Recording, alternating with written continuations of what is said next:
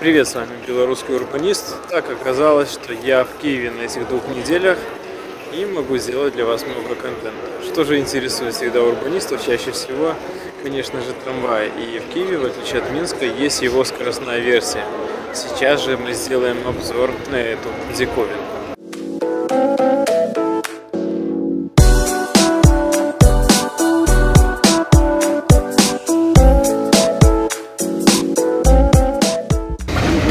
Трамвай подходит примерно к железнодорожному вокзалу в 300-400 метров от него.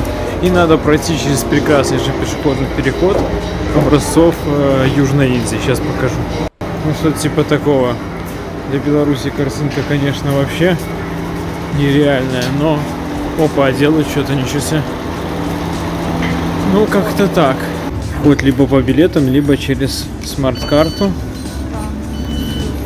И турникеты, в отличие от некоторых метрополитенов Беларуси, не бьют по ногам. Да, конечно, вы знаете, что такое Украина. Это грязь, это беспорядочная торговля. Но давайте для нас, нам интересна та информация, что мы можем перенять для Беларуси. Поэтому не будем, не будем лишний раз сейчас показывать, как тут плохо. Потому что нам здесь не жить.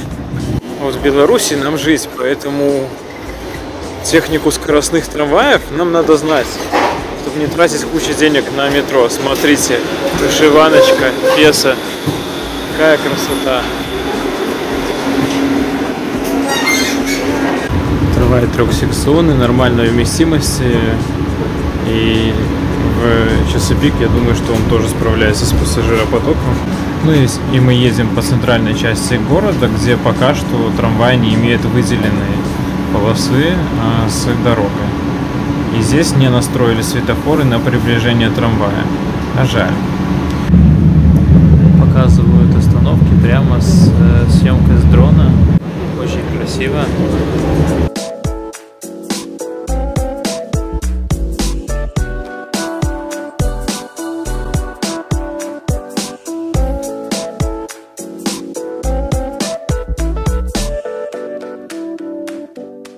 Так выглядит типичная станция а, киевского скоростного трамвая. Она полностью выделена, чем-то напоминает линию легкого метро. Строить ее значительно дешевле, чем метрополитен, но эксплуатировать соответственно тоже. Поэтому сейчас большинство стран мира, большинство городов с не многомиллионными пассажиронагрузками переходят на такой вид транспорта. Даже вот здесь, в Киеве. Видите, навигация сделана по хорошему дизайну. Где какая станция, куда какая линия идет. Сравните это с нашей навигацией в метро. Потому что здесь это делали профессионалы, эксперты из центра новых ЗМИН, да. А у нас делает Баба которую пристроили где-нибудь в свое время в Советском Союзе еще, потому что она хорошо закончила Мостатский институт. Ну, как-то так. Здесь все на качестве. Конечно, ну, про Киев я так не скажу по большей части. Хотя город мне нравится. Но пока как работает трамвайная линия, я вижу некоторые проблемы. По большей части мне, конечно же, нравится. У нас вообще чего-то подобного даже близко и нету. Уже повечерело, так оно все смотрится достаточно футуристично. Что я вам скажу? Ну, гораздо дешевле строить э, скоростной трамвай, чем метро. Ну, интервалы буквально что как минуту буквально. Ну, как метро. Интервалы как метро. Они, скорее всего, не сбиваются. Ну, хотя разные тут были проблемы с запуском этого метрополитена. Ну, это не метрополитен, это трамвай.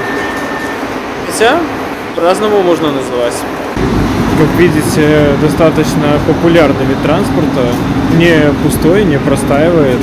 Как вы думаете, что лучше было бы для Минска? Четыре станции третьей линии метро или вот такая вот рабочая линия, которая разводила бы из центра в край города людей? Как вы думаете? Вот за те же самые деньги. Вот что бы вам больше хотелось, как минчанину? Пишите в комментарии.